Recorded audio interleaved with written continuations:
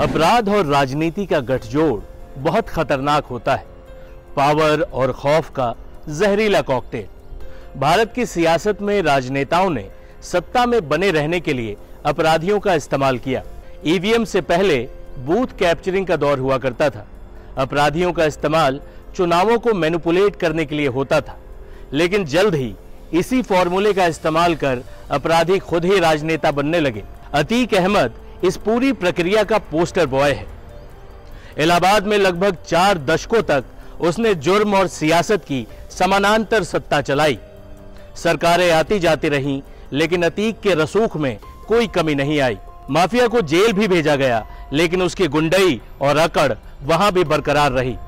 Jail के अंदर रहते हुए जेलर की पिटाई कर देना तो अपने ताकत के गुमान में अंधे रहने वाले किसी अपराधी के लिए ही संभव है।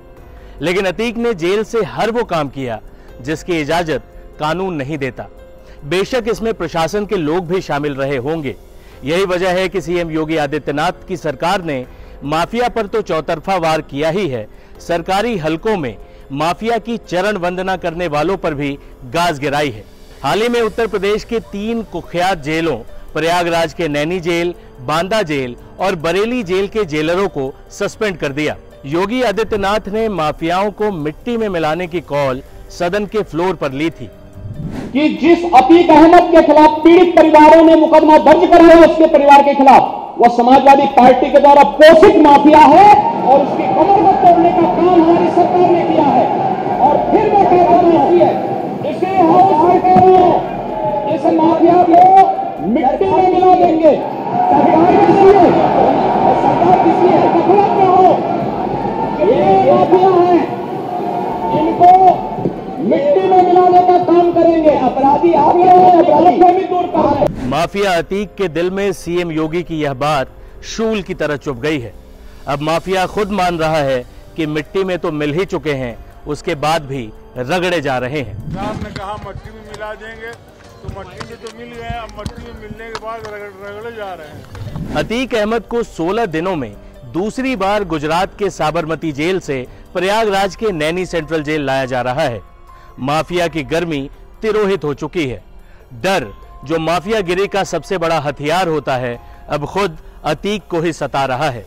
माफिया डर के मारे काँप रहा है।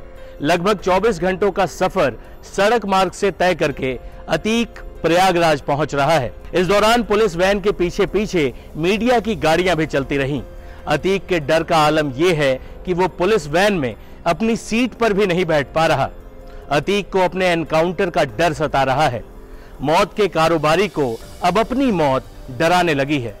अपराध को पुश्तैनी धंधा बनाकर अपने भाई, पत्नी और बेटों को भी जुर्म का साथी बनाने की गलती माफिया ने तो कर दी, लेकिन अब उसी परिवार के लिए अतीक के दिल में दर्द जाग रहा है। छह साल से मैं जेल में हूँ। मेरा पूरा परिवार बर्बाद हो चुका है। सरकार ने कहा मट्टी में मिला देंगे अतीक अहमद के साथ चल रहे पुलिसकर्मियों ने सूत्रों के हवाले से बताया कि अतीक सारे रास्ते बेचैनी महसूस करता रहा। डर के मारे वह अपनी सीट पर बैठ तक नहीं पा रहा। अतीक गरजने से गिड़गिड़ाने तक आ गया है।